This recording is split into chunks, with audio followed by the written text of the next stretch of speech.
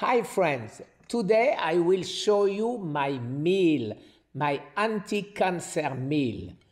Three uh, small uh, tomatoes for lycopene, one carrots, uh, two leeks, a little bit uh, of uh, cauliflower, a little bit of cabbage. And this, I start eating this before my proteins. And what is my proteins? It's uh, a cod uh, with uh, turmeric, garlic, ginger, and three shrimp with a lot of fresh garlic on it. Thank you very much.